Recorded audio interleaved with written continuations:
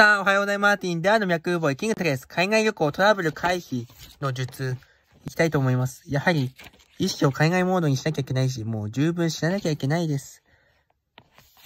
まずは、自分の身を守る危険な場所には近づかないこと。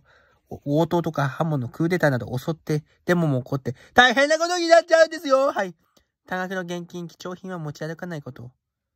クレジットカードなどを使い最小限に留め現金は。あとは犯罪あったら抵抗はしないこと。はい。